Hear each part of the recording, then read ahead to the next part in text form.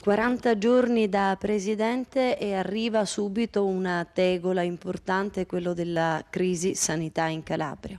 Un'eredità pesante, eh, purtroppo siamo di fronte a una difficoltà dello stesso advisor che lavora da due anni per decifrare e quantificare il debito, a comprendere e a capire quant'è effettivamente il deficit della sanità calabrese. Su questo ovviamente non c'è più tempo, bisogna dare una grande accelerazione.